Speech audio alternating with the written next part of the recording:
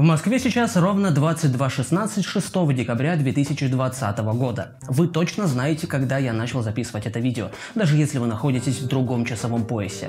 Не самая полезная информация. Однако никто не будет спорить, что у стандартизированного времени есть много плюсов.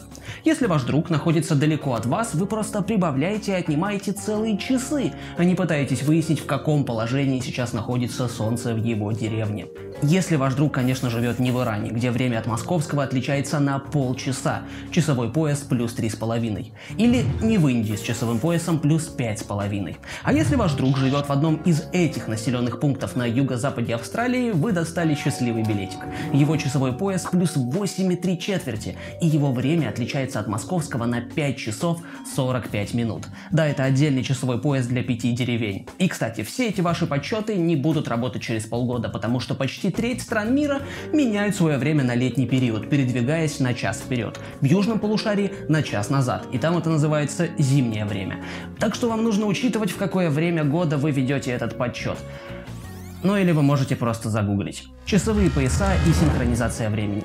Тема нашего выпуска. Это рубрика «Как работает», в которой мы объясняем, как работают вещи, механизмы, социальные явления простым языком. Без претензий на уникальность, но с претензией на достоверность. От самых простых до самых загадочных. В этом видео вы узнаете, почему длительность часа могла меняться в течение года, как китайцы определяли время по запаху, почему на одном острове может быть вчера, а на соседнем уже завтра, и как поезда навсегда изменили способ общемирового времяисчисления. Возможно, вы этого не знали. Это только на первый взгляд кажется, что проблема синхронизации времени – это проблема больших расстояний. Когда Voyager 1 пролетал мимо Юпитера, зонд должен был сделать самые четкие в истории фотографии спутников планеты – Ио и Ганимеда. Но исследователи получили хаотично смазанные снимки. Одни четкие, другие размытые. И почему так, долго не могли понять. Стали разбираться с данными о состоянии электроники и выяснили, что основные часы замедлились на подлете к Юпитеру на 6,3 секунды, а когда зонд пролетал очень близко, уже на 8 секунд. И дело было вовсе не в гравитации, то есть не только в гравитации. У газового гиганта сильный радиационный пояс. Он и привел к сбою электроники, из-за которого бортовой компьютер и камеры в тот момент по-разному стали считать время, и затвор в итоге срабатывал все позже и позже, поэтому много света успевало попасть в объектив, и фотография получалась смазанной. А ведь это была всего лишь третья за всю историю освоения космоса межпланетная миссия, одной из целей которых был Юпитер. В такие моменты думаешь, ну почему я об этом не знал и заранее не подстраховался? Например, когда в самый ответственный момент тебе звонят неизвестные номера, а ты очень занят, поэтому не задумываясь поднимаешь трубку, вдруг это курьер звонит или старый друг, но чаще всего это оказывается наглый, непрошенный, а главное бессмысленный телефонный спам. Ну come on, неужели кто-то слушает после первых же слов? Теперь все проще. Просто открываете приложение Яндекс и просите Алису включить определитель номера с помощью команды «Алиса, включи определитель номера». И вы будете узнавать, это спамер хочет украсть ваше время или это действительно нужный звонок. Функция, разумеется, бесплатная и доступна со всеми остальными, если у вас на телефоне стоит приложение Яндекс. Заодно Алиса подскажет, какая сейчас погода и чего ждать к вечеру или утру, что с пробками, найдет ответы на нужные вопросы в интернете или просто с вами поболтает. Первые календари, как и сегодняшние, базировались на трех природных циклах. Это солнечный день, лунный цикл, ориентированный на фазы Луны, и солнечный год, который влиял на смену сезонов. Однако для многих самых древних цивилизаций год, как мы понимаем его сегодня, солнечный год, не имел настолько ключевого значения. В низких широтах смена сезона была не так важна. Для тех, кто жил вблизи экватора, приливы и отливы были гораздо важней, а приливные силы на Земле являются следствием смещения гравитационного поля в сторону Луны. Египтянам тоже, казалось бы, были важны приливы и отливы, но у них все было немного иначе. Все дело в ежегодном разливе Нила, напитывающем землю живительной влагой. Все земледелие Египта ориентировалось именно на него. Одни разлива были настоящим праздником. И если, конечно, закрыть глаза на все разрушения. А причины у него весьма специфические. Все из-за муссонов, ветров, идущих от тропиков к экватору, которые вызывают значительные атмосферные осадки в Эфиопском Нагорье, а также таяние снегов на высоком плато этого Нагорья. Большая часть воды из этих осадков забирается притоками Нила, и ежегодно с точностью до нескольких дней, примерно 15 июня по григорианскому календарю, прибывает в долину, что соответствует первому дню года по египетскому календарю. В северных же широтах, где было важно сезонное земледелие, солнечный год как раз был ключевым ориентиром. С продвижением Римской империи на север их календари тоже по большей части стали ориентироваться именно на циклы Солнца. Григорианский календарь, который используется сегодня в большинстве стран мира, происходит как раз оттуда, наследуя от египетского, еврейского и римского календарей. Но если подытожить, древние цивилизации с разным приоритетом создавали свои календари вокруг лунных и солнечных циклов. Древний город Теотиуакан, построенный около двух тысяч лет назад на территории современной Мексики, похоже, был во многом устроен таким образом, чтобы вести счет времени. Самые большие его строения – это пирамида Луны и пирамида Солнца. Судя по всему, вторая пирамида использовалась как раз для отслеживания солнечного года. Она ориентирована ровно к точке захода Солнца на горизонте 12 августа и 29 апреля. Этими датами определялся календарный год теотиуаканцев. Во времена Древнего Египта разлив Нила также почти точно совпадал с гелиокическим восходом Сириуса. Это момент в ежегодном цикле, когда Сириус начинал немного выглядывать из-за Солнца, впервые за долгое время появляясь на небосводе как раз незадолго до рассвета. В этот момент египтяне видели на небе 12 деканов, как их позже назвали греки. Для египтян же это, по всей видимости, были 12 маленьких созвездий. Они делили свой ежегодный календарь на 12 месяцев, состоящих из 30 дней. И похоже, именно важность этих 12 деканов и привела к тому, как они решили делить ночь. Они начали делить ночное время на 12 равных частей, а позже то же самое стали делать и с дневным временем. Получился аналог современных 24 часов, но с небольшим нюансом. Поскольку они отдавали ровно по 12 часов для дня и ночи, то длительность часа не была фиксированной. Она менялась в зависимости от времени года. Летние дневные часы были длиннее, а зимние – короче. И только дважды в год, в дни весеннего и осеннего равноденствия, длительность такого часа совпадала с тем, который мы используем сегодня. Исследователи называют эту единицу времени temporal hour, что можно перевести как «временный час» или час с разной длиной часа. В дальнейшем будем называть его неравный час. Похожий способ деления суток на дневные и ночные часы был и в Вавилоне. Согласно Геродоту, именно оттуда древние греки его и переняли. А римляне, видимо, потом переняли его у египтян или у греков. В традиционном еврейском праве галахе было понятие так называемого талмудского часа, который означал одну двенадцатую времени от рассвета до заката. Это тот же самый неравный час. Солнечные часы, кстати, были прекрасным устройством для отслеживания неравного времени в дневное время, потому что они показывали время ровно от восхода до захода солнца, и никак не те часы, которые мы знаем сегодня. Поэтому нет, идея неравных часов вовсе не была безумием, как может показаться, и неудивительно, что она присутствовала почти во всех правилах счета времени древних цивилизаций. Это было удобно с точки зрения отслеживания времени, исходя из технологий тех времен. В Азии традиция измерения временных промежутков была связана с использованием свечей и ароматических палочек. В Китае использовали свечи, на которые наносились маркировки, обозначающие временные промежутки.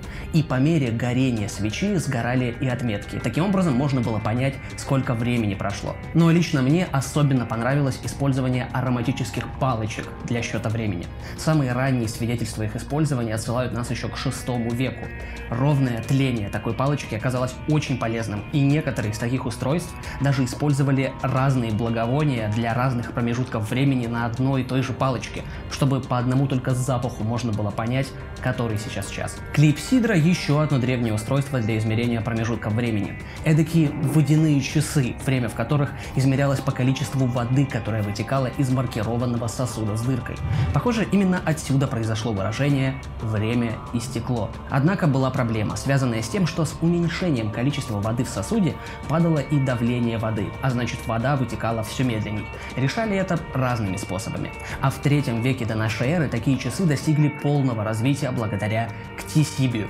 Он изобрел принцип сифона и использовал его для построения клипсидры, которая стала самым точным устройством измерения времени на тот момент и оставалась таковой вплоть до 17 века. Вот так выглядит устройство его часов. Человечек под номером 6 показывает текущее время, поднимаясь за счет уровня воды в резервуаре 4.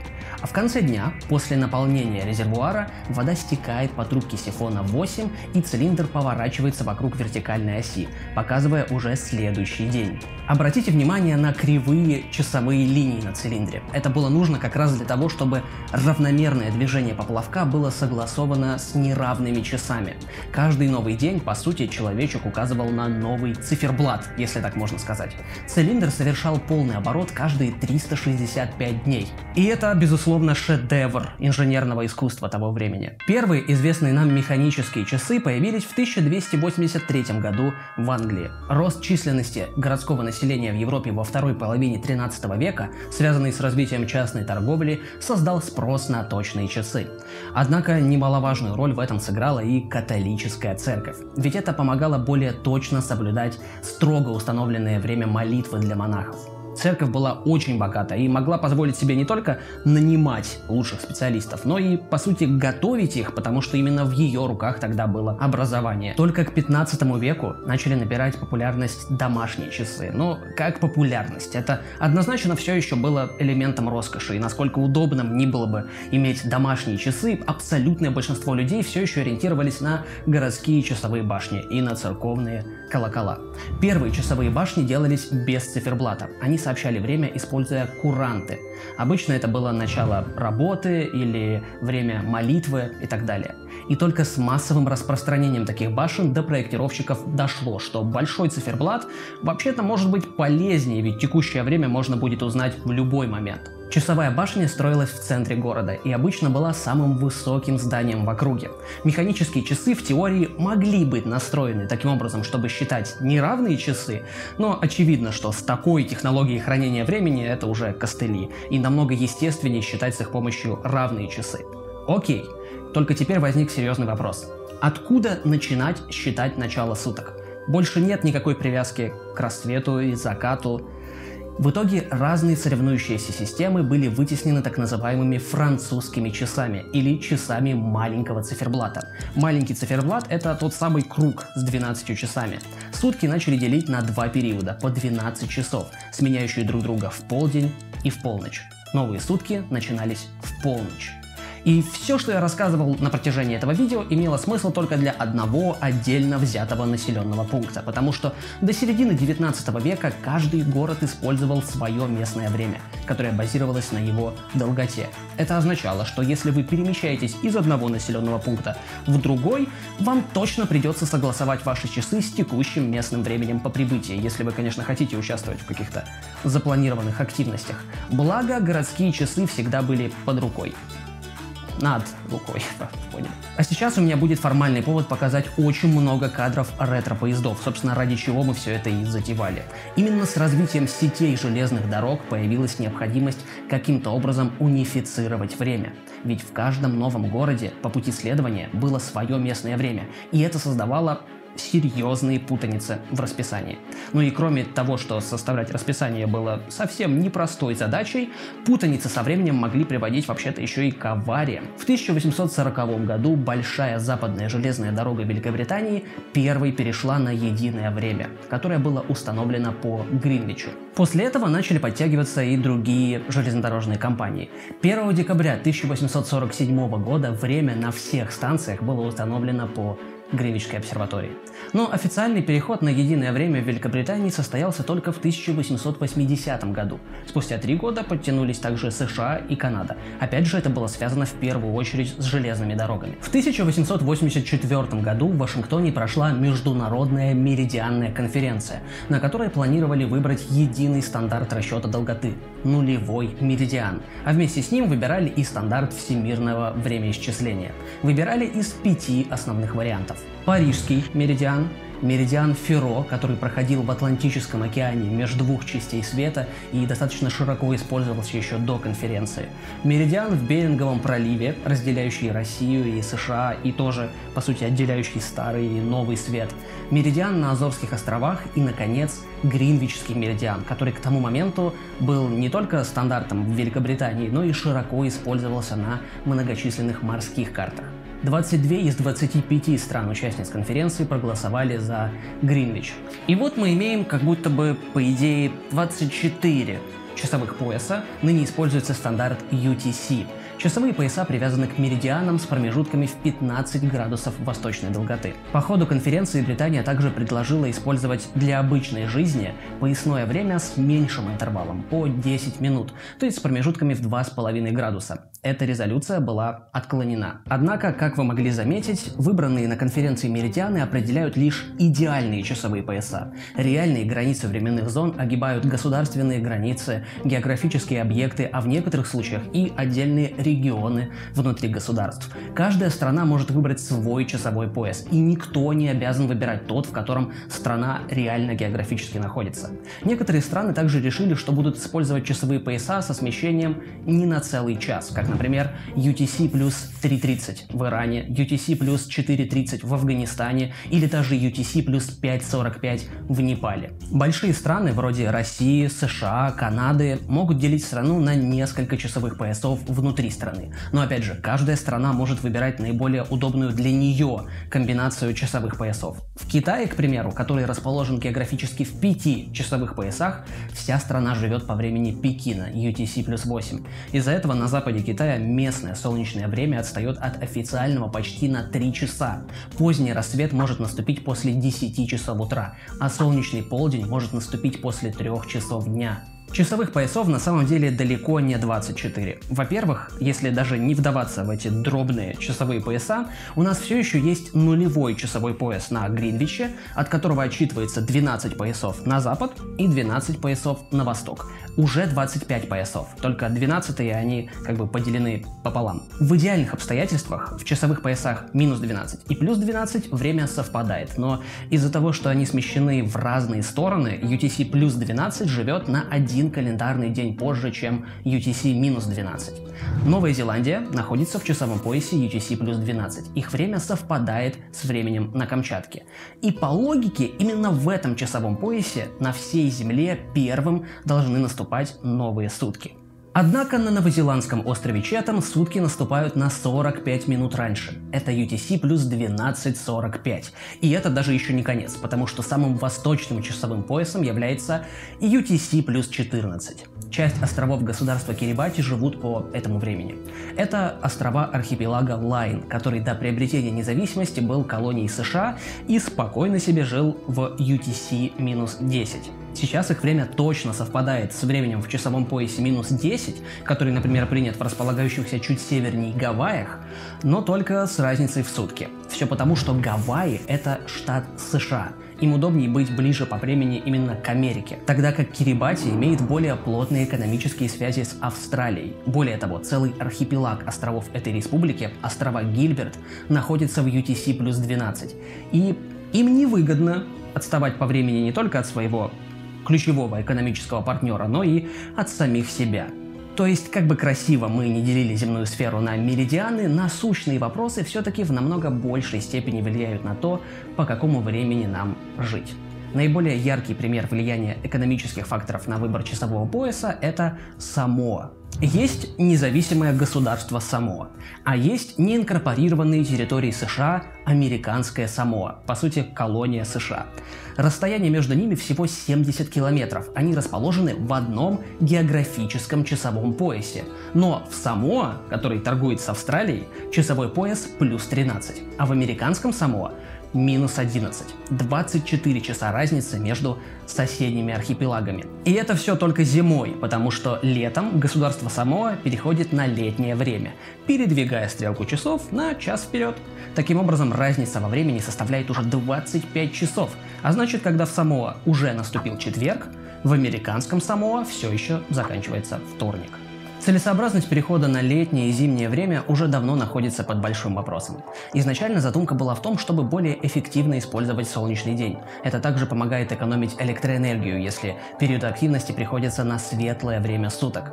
Однако это также кардинально меняет расклад часовых поясов, когда одни страны совершают переход, другие его не совершают, и при этом на самом деле для некоторых стран действительно бессмысленно делать этот переход. Опять же, в самых низких широтах, в тропиках, вблизи экватора, смена времен года, она не так ярко выражена, и продолжительность светового дня, она почти не меняется. В высоких же широтах это изменение настолько радикально, что переход просто теряет смысл.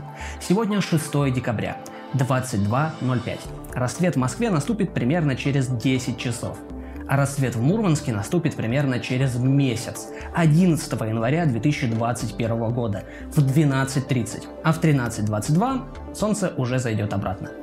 Было бы что там ловить. Поэтому нельзя заставить все страны синхронно сменять зимнее и летнее время, потому как это является экономически целесообразным только для тех, кто обитает в средних широтах. Но на самом деле даже экономическая целесообразность находится под большущим вопросом реальная экономическая польза все еще остается недоказанной. Экономия электроэнергии на деле оказывается не такой уж значительной. Но и сам переход, он тоже стоит денег. Некоторые исследования, проводимые в Европе и России, указывают на повышение риска инфарктов в первую неделю после перехода. Сами цифры разнятся. Люди периодически жалуются на возникновение бессонницы и падение продуктивности. Стрелки при этом передвигаются в разном направлении в северном и южном полушариях, и даже не синхронно, потому что каждая страна выбирает свой наиболее удобный день для перевода часов. Это создает нереальную путаницу.